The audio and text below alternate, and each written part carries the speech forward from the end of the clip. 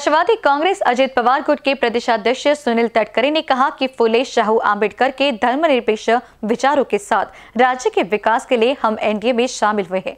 राष्ट्रीय अध्यक्ष अजित पवार के नेतृत्व में हम आगे बढ़ रहे हैं। राज्य की जनता हमारे साथ है। उन्होंने कहा कि 2014 में शरद पवार ने भाजपा को बाहर से समर्थन घोषित किया था, तब बीजेपी ने समर्थन नहीं मांगा था।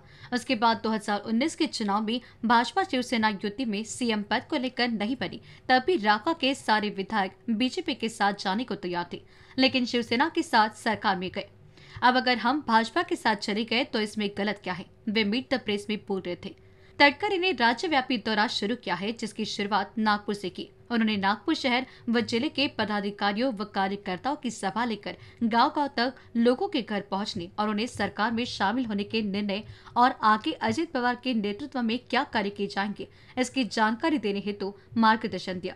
इस दौरान महिला आयोग अध्यक्ष रूपाली चाकनकर, राजेंद्र जैन, शहराध्यक्ष प्रशांत पवार, जिलाध्यक्ष शिवराज बाबा गुजर आभा पांडे, ईश्वर बालबुद्दे विशाल खांडेकर सहित अन्य पदाधिकारी उपस्थित थे।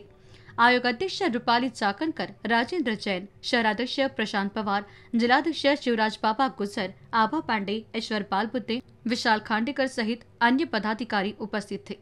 तटकरे ने कहा कि अजित पवार के विचारों के साथ पार्टी घड़ी वही वक्त नया। इस पर कार्य करते हुए नया महाराष्ट्र गढ़ने का लक्ष्य रखा गया है। उन्होंने कहा कि गठबंधन में भिन्न विचारधारा होते हुए भी लोग एकत्र आते हैं। हम भी दादा के नए विचारों के साथ सज्ज होकर कार्य में जुट गए हैं।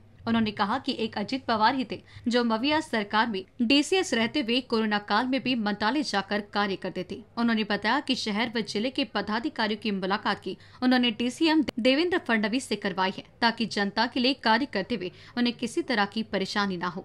एक असं की अस्वस्थता महाराष्ट्रामध्ये, समाजा समाजामध्ये आहे, नाकारता कोणाला येणार नाही. सकल मराठा समाजाचे लाखोंच्या संख्येने मोर्चे निघाले, महाराष्ट्रामध्ये अतिशय शांततेच्या वातावरणामध्ये. मूक मोर्चा काढले गेले. प्रचंड अभूतपूर्व प्रतिसाद मिळाला त्यावेळेला देवेंद्र फडणवीस राज्याचे मुख्यमंत्री होते. पण त्यांनी त्यावेळेला आरक्षण दिलं. दुर्दैवाने ते सर्वोच्च न्यायालयामध्ये टिकलं नाही. आता या सरकारचा प्रयत्न आरक्षण देण्याचा नक्की आहे. कारण दोन वेळेला तो प्रयोग न्यायालयामध्ये फसल्याच्यामुळे आता टिकणारं आरक्षण मिळालं पाहिजे असं सर्वच सकल मराठा समाजाच्या संघटनेला वाटतं. आणि त्याच्यामुळे तशा पद्धतीचा निर्णय त्या ठिकाणी होईल. शेवटी जनतेला नक्की माहिती आहे की आरक्षण देण्याची भूमिका कोणाची? स्वच्छपणाची आहे.